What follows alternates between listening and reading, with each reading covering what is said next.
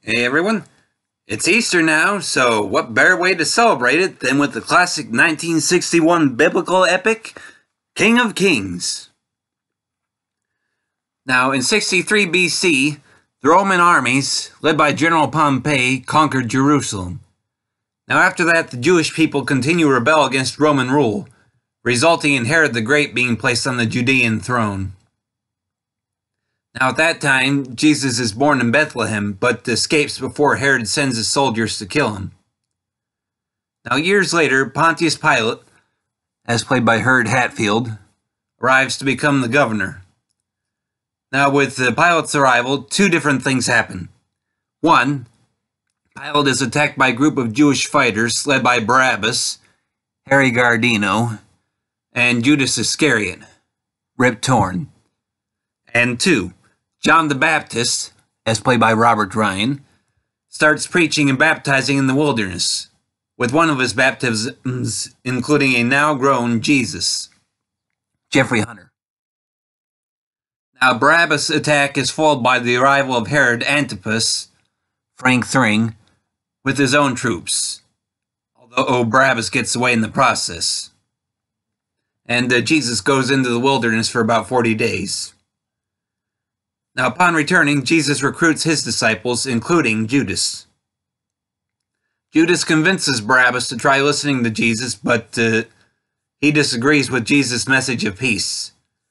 Meanwhile, Herod Antipas has arrested John the Baptist and has him beheaded at the behest of his stepdaughter Salome, Brigid Bazlen.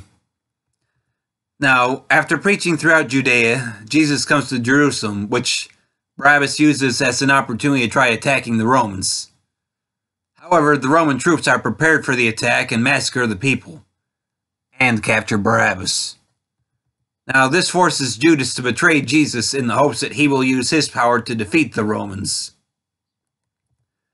Okay, now let's get one quick and very obvious point out of the way here. Being a movie about the life of Christ from his birth to his death and resurrection, Obviously, this movie qualifies as both a Christmas movie and an Easter one. Phew!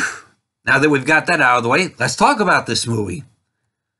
Obviously, it's not completely accurate according to the Bible and history.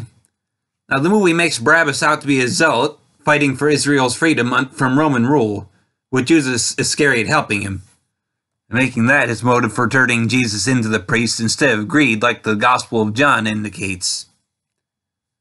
Still, in spite of differences like those, it's an interesting way to look at the story, eh, giving us two men, Jesus and Barabbas, as potential messiahs, depending upon how the people at the time were interpreting the scriptures. Since I know the Jewish people at the time were looking to get out from under Roman rule and weren't as likely to prefer Jesus' message of peace as much. Now, when it comes down to my actual opinion of this movie, I really like it. Oh, I'll admit, from my own movie watching experience, I don't recognize most of the cast outside of Orson Welles as the narrator and Robert Ryan as John the Baptist. And I didn't even know who he was the first time I saw this movie either, which just goes to show how things have changed in about a decade or so since I first saw it.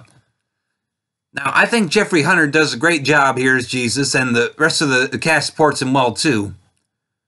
That being said, the only part of the movie I struggle with is the trial before Pilate leading up to the crucifixion.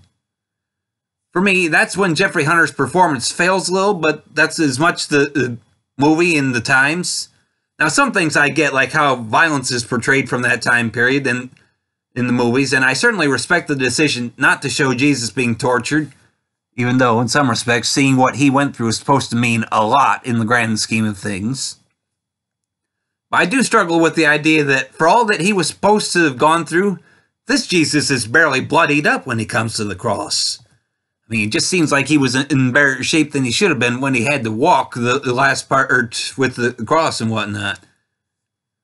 Now, still, minor gripes aside, I do enjoy this movie, especially with the beautiful score by Miklos Rozsa, I think is. Uh, just beautiful score. Helps this movie so much, and especially at this time of the year, or Christmas time too.